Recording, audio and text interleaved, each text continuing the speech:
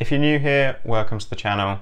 Today's video is going to be covering how your heating system works. I'll be covering gas combi and gas system boilers, which are the two most common types, gas combi being by far the most common type. These principles will also apply to if you've got an oil boiler or a wood pellet boiler. I won't be covering specifics around anything like heat pumps, however there are a lot of similarities with a system like I've got and those systems too. I'll walk you through how my system works step by step and why I set it up in the way that I did. Then I'll talk through the differences with the other types of systems. So we'll go to the boiler next to talk through that.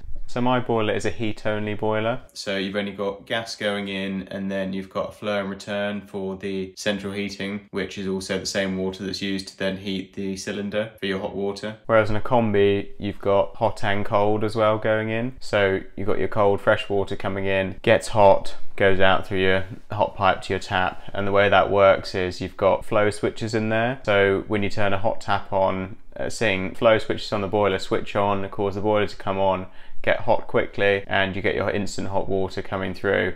Whereas a system boiler like mine, it heats a cylinder that then supplies your hot water so that cylinder is insulated, keeps the water warm and then feeds your taps whenever you need it. Perk of a combi boiler is you don't need the space for a cylinder and you've got that instant hot water so it takes up a lot less space which is why they're the most popular type. The reason I went for a system boiler like this, this house has two bathrooms so that's why I've kept the system boiler and put in an unvented pressured cylinder instead. The perk of that over a combi boiler is that if you've got multiple bathrooms you can have two people having a shower at a time and not have a problem with pressure whereas a combi boiler can't put out the same flow rate. So up at the top here coming out the boiler you can see you've got flow on the right there and your return on the left and those are just automatic air vents there just as the boiler pipes go under the floor to get to the cylinder so any air that gets trapped in this section can bleed out. You can see occasionally it sprays out a little bit of rusty water which isn't ideal but they're a pretty good thing to have. One at the top could do with being replaced to be honest. That one I replaced about 18 months ago. This is then the cupboard under the boiler so that pipe on the right there,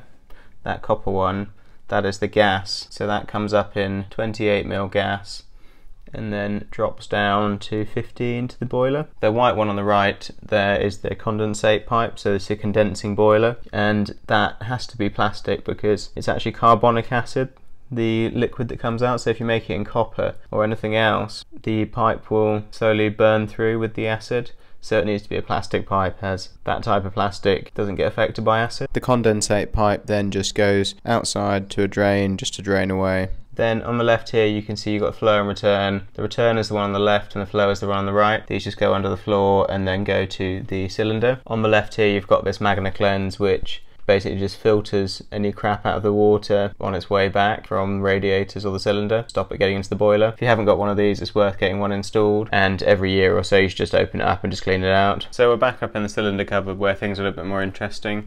So this pipe here, this is the flow from the boiler. So this is the pump. So this pulls the water through the boiler. So you've got hot water comes up through this pipe here. On either side of the pump, you've got these pump valves, and this is just to isolate it so you can take it off. So if you ever need to change this pump or service this, you can not have to drain down the whole system. So then we've got a hot water that's coming out of the pump here. So it's a flow from the boiler. So it goes into this four way piece of copper here, and straight up is just an automatic air vent there. So it's just a bottle type. So when you're filling it, it just makes life a lot easier. This on the left here is what's called an automatic bypass. In the event that the heating is on but none of your radiators are open so all your thermostats are open, you've basically got the boiler getting hot and the pump pumping but there's nowhere for the water to go. So to stop the boiler just overheating the water in the boiler, this bypass will open once you get a bit of a pressure differential. So the pressure differential is on, written on the top there. So I've got it set to 0.5 bar. So if you get a pressure differential between here and here of 0.5, this will open and this just allows water to bypass. So this here then goes back to the boiler. So this is primary return, is what this pipe's called. So this just cycles back to the boiler and just allows that hot water to get away from the boiler. And then eventually it will turn itself off, but it just stops any overheating danger. Now 0.5, the setting that I've got here is actually quite high. You can just twist this to turn it down, but um, the reason I've got it on 0.5 is mine actually lets by a little bit. I think there's probably some crud stuck in there that is meaning that it lets by a tiny bit constantly. And the reason I know that is because even when all these valves are open over here, this pipe still gets quite warm. Then going off to the right from this four-way copper piece, you come over to here and you've got these three what these are called zone valves. So these are motorized valves that when you turn on the heating or the hot water, one of these will open and then these go off to either the radiators the cylinder. So my hot water is controlled by this timer here. So I only have it come on for about an hour a day at 5am. But if I hit boost here, this clicks on and this goes into this wiring center here and then tells this valve to open and I can see that it's open because this is loose so that's open now and it also tells this pump to click on which then tells the boiler to turn on and the other thing you've got with a unvented cylinder is you've got a thermostat here so as long as the temperature in the tank at this low point in the tank is below this number, this will also allow power to pass through to the boiler for the boiler to click on. Now the difference is with this being open, as you can see this moves freely backwards and forward, whereas on these ones you have to apply force to get it to open and then it automatically closes itself. So these are normally closed and then when power is applied it opens up. Now the power's on you've got your hot water coming up through the pump, through to this T-piece, across, then down. This valve is open so it goes down this pipe here and then that pipe goes round along there and comes behind here so it comes to here then up and you've got another automatic air vent here to let out any air stuck in the coil then it goes through here so it's primary coil into the tank. And then inside the tank there's a nice coil which the hot water flows through which is effectively a heat exchange. So the hot water inside the coil in the tank warms the fresh water in this tank but the two don't mix. And then it comes back out here got a drain off there which is useful to have. Back round the bottom here that bottom pipe all the way around and then it goes to here in the corner where it's a bit dusty and under there just tees in to that pipe and then goes off under the floor. And this is what called is called our primary return. So this pipe just goes back to the boiler now. And then so this is your colder water going back to the boiler. It gets hot then comes back up through this one to the pump and then carries on circulating like that to heat our hot water. So now I'm just going to turn this hot water off can see the valve down here has just closed so I have to apply force to open it. Then next I'm going to turn our heating on. We've got a nest here so this is just the other end of it and that controls these two valves here which you can see are now open as well but the hot water one over here is closed and you can see it closes automatically. So these two are open. Now this one on the left here is actually our heating upstairs and this is heating downstairs. So we've got two zones, so you don't have to have the whole house on at once. You can just have one or both. And then this one here goes off to all the upstairs radiators and this one here goes straight to downstairs radiators. Just means you can save a bit more money on heating so you're not heating rooms that you're not in. Now for two zones, ordinarily people would have two nests and actually have two of these, but I didn't want to pay for two of these because they're pretty expensive. So how we have it set up is that the hot water on the nest actually operates the radiators upstairs and the heating on the nest is just downstairs heating which has the th nest thermostat downstairs. All the bedrooms upstairs have thermostats on the radiators anyway so it doesn't make a difference but just saves the money on that and it's easy to use on the app anyway. You can see this primary return actually has a reducing T on it and you've got this bit of 15 mil that goes up.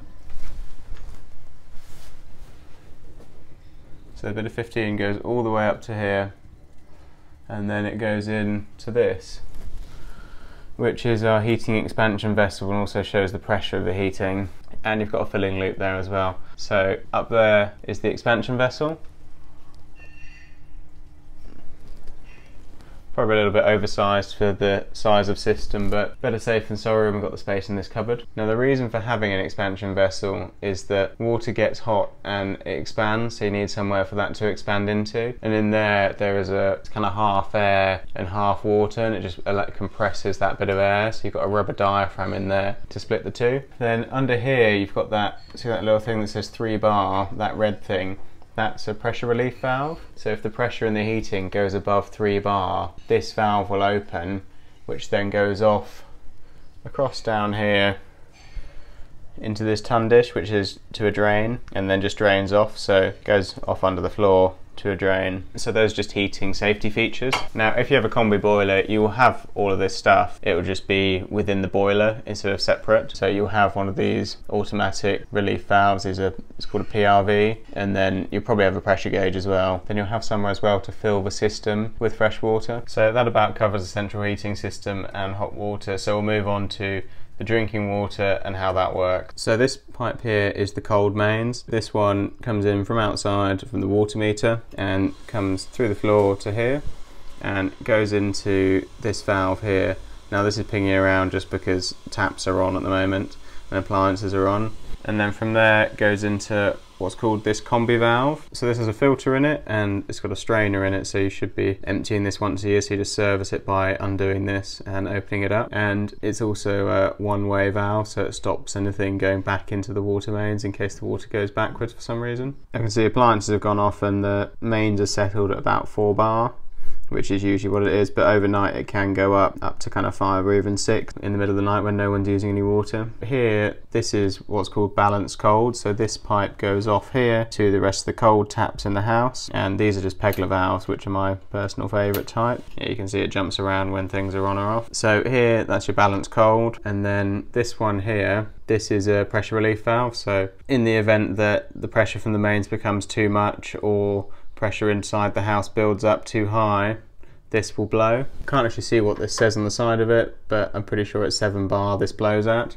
And then goes to the same place, goes down into that tundish and drain. Bit bad soldering there from me. Then up here you can see we've got just under 3 bar. So this valve, this combi valve is designed to make the water 3 bar. And then up here you go straight up on this kind of 180 bend and goes up to an expansion vessel there. Now the white expansion vessels are for drinking water and the red ones are for central heating. And so you can see this is the same setup, this one. So you've got a rubber diaphragm in here, and the top half is air, the bottom half is water. And the reason you have that is hot water in the tank gets hot and expands, and it needs somewhere to expand. So it just compresses the air in the top of this expansion vessel. Now, these expansion vessels do need servicing annually, and the way you service it is just checking the pressure on the air inside. So you can see, see it says pre-charge 3 bar so you just need to check the pressure. There's a valve on the top. And if not, you just pump it up, whereas this one is 1.5 bar for the heating. So then the other way from this T is down this pipe here. And got a drain off there and then here it goes into the cylinder and you can see that says cold inlet on the side there. So that's for cold water to go into the cylinder and this is a drain off to drain the cylinder. Now you might see the position of that drain off being way above the base of the cylinder and think how is that going to empty the cylinder if you're draining from there? Because it's only going to empty above the drain off not the bit below. But it actually siphons out because this pipe in the inside goes down to the bottom so it will just siphon out the whole tank. Then from there that just pressurizes this tank and puts your cold water in in. Coil heats up the water. Because heat rises, your hot water sits at the top and then comes out of the top there and into that um, elbow there and T.